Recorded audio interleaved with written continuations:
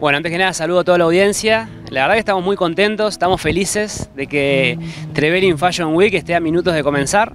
Tenemos muchas expectativas y estamos seguros que va a ser un éxito con este marco tan lindo y con el agradecimiento a Fashion Week. Bueno, aquí en, nombre de Héctor agradecerle todo lo que ha puesto a disposición para que no solamente sea un evento, un desfile de moda, porque para nosotros esto es promoción turística. Que se haga esto en Trevelin para nosotros es muy importante y haberlo logrado, bueno, es una satisfacción enorme.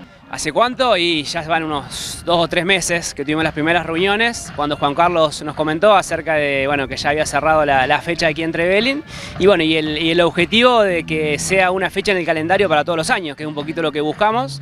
Eh, así que bueno, eh, veremos cómo sale, está el marco, están las modelos, está toda la logística y el trabajo enorme que se hizo atrás, así que bueno, creemos que todo lo que hagamos, si bien hay muchas cosas que mejorar, pero que todo lo que hagamos va a servir para que se siga repitiendo en años posteriores este evento. Sí, claro, lo, dejo en nombre de la palabra de Héctor Vidal que es el, presidente de eh, Argentina Fashion Week.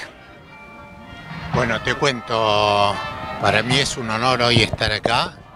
Este lugar es mágico y bueno, y Trevelín es, es una ciudad increíble y creo que bueno, que es el la primera edición de Trevelín Fashion Week y para nosotros es muy importante porque no solamente vienen diseñadores de Buenos Aires, sino que le damos lugar a varios diseñadores de acá de Chubut, de distintas localidades de Chubut, y eso es lo más importante y es lo que quería también Trevelín, de darle un lugar a los diseñadores de acá.